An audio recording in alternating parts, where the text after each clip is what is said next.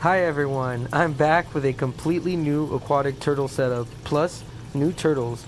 You're looking at my 20 gallon long aquarium. I have four hatchlings currently living in here, all born this year 2020. I purchased them from a trusted source online, all the way from Fort Myers, Florida. I live in California, so these turtles literally traveled across the United States. Trusted company, I recommend them. This little baby is a three-striped mud turtle, scientifically known as Kinosternon baurii, a very tiny turtle that will reach about 4 to 5 inches as an adult. I would like to say this is a great beginner turtle, just because of that. They stay small, and they are even smaller when they're hatchlings, like this one. This is a beautiful specimen, distinct three stripes on his shell, just beautiful. Oh, are you looking at me? Yeah, you're looking at me. You're cute. Yeah, you. We gotta keep on moving. And uh, time to show you guys the rest of the turtles. Oh, whoa. That was quick. Alright, next turtle. This one here is a yellow mud turtle, scientifically known as Kinosternon flavescens. This one grows to be about 5 to 6 inches long as adults this is such a beautiful turtle. Just look at the patterns on the throat and the arms. This is just, this is a nice one. Out of all my hatchlings, this is by far the smallest one. Around the size of a quarter. Very, very tiny turtle. I can't wait to see how she or he is going to look like in the future. Should be a beautiful specimen from what we're seeing so far.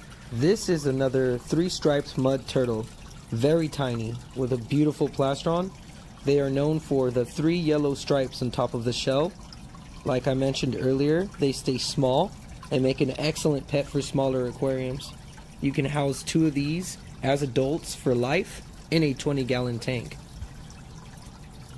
I am not planning on keeping all of these four turtles in this tank, but I am planning on keeping only two my two three-stripe mud turtles will be living in this 20 gallon long tank for the rest of their lives. Yes. my yellow mud turtle and the next turtle I'm going to show you are going to be living in a different separate aquarium as they get older. Now let's move on. This is my fourth hatchling, a red-cheeked mud turtle.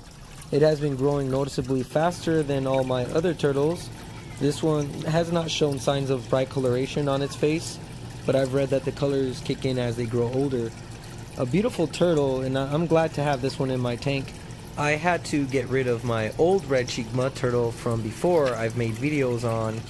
Um, made me sad. I regretted it weeks later. I won't let this one go. Filtration is a priority in your turtle tank. Turtles are very messy when they eat and when they poop. It gets all over the place and you need filters to suck it all out. I currently have four filters running in this 20 gallon long aquarium. Some will say that it's overkill, but I've always done this with all of my turtle aquariums and I've always had clear water. The turtles drink this water, they swim in it, and they sleep in it. They deserve a clean environment, and I hope you guys treat your turtles with much love and respect to keep them happy and living for a long time. You just want to avoid drowning your turtles with all the water current in the aquarium. So I'll jump into that in just a second. This right here is a Zoo Med 318 Turtle Clean Submersible filter. Uh, that's the last filter I have. So four filters in total. Talking about filtration, I have live plants growing in this tank. And sometimes the roots get ripped off due to the turtles moving their way to the top, hanging on and chilling on the plants. And so the roots start floating around, roaming the tank until they get sucked up through these filters and start clogging everything. So you just got to keep an eye on these roots. These aquatic plants are called dwarf water lettuce. They help clean the tank from toxins and make safe zones for the turtles. The roots help the turtles hang on and get a grip through the water current. I really love the way the plants look too. It keeps the tank looking alive on the surface. They are affordable, very cheap. About $2 I paid for this head here at my local pet shop. I have this aquarium ring here that floats on the top. It keeps my plants in place. Without the ring, my plants will float all over the place, out of control. For their dry basking area, I have here in this tank two turtle docks made by Zoo Med, a mini size on the right and a small size on the left. Both are excellent at keeping my turtles dry when basking. That keeps them dry above. Now this keeps them warm below. My 100 watt aquarium heater made by Orlushy.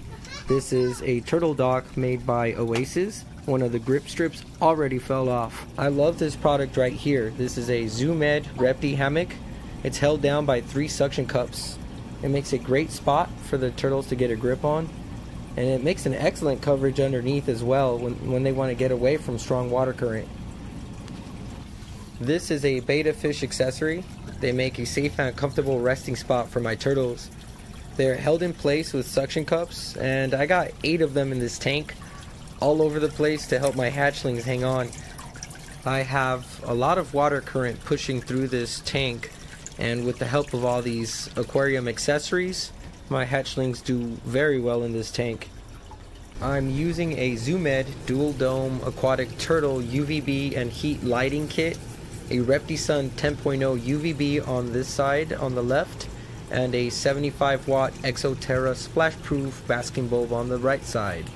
My lights are being held up above with this Zoo Med reptile lamp stand. This makes positioning of my lights so much easier and secure. It's being held down underneath the tank and it runs up, can be easily adjusted. I will make sure to leave links down in my description of all the items that I'm using in this video. Here is a Zoo Med digital thermometer reading 78.4 Fahrenheit. A very important item that I think everyone should have in their aquarium knowing your animal's temp enclosure is a must. I have some turtle tank companions in here. I have two dwarf gourami. They are such beautiful fish and they live for about four to six years, but with proper care, they can live longer.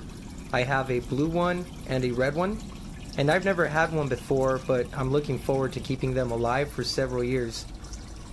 They love eating the leftover crumbs of turtle food that fall down during turtle feeding.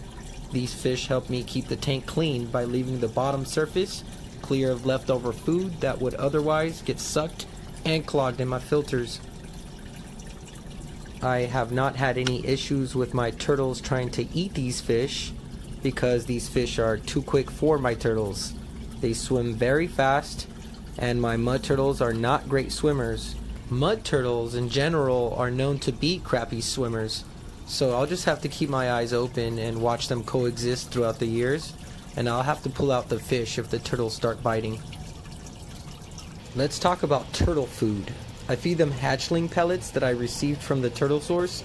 They are these small little round pellets. The turtles love it. They also included some medium sized pellets that my turtles can't fit in their mouth yet, I also hook them up with these delicious treats once a week. They love variety and they sure enjoy eating these high quality pellets. These pellets are too big for the hatchlings' mouths, so what I do is I grab one of them and I crush it into two to three different pieces so they're able to fit in their mouths. Well, that's about it for today. If you guys have any questions for me, please drop them down in the comments below. Go ahead and tap that like button too if you like this video, and subscribe to my channel if you want to see more updates. Thank you for watching. See you on the next one. Peace.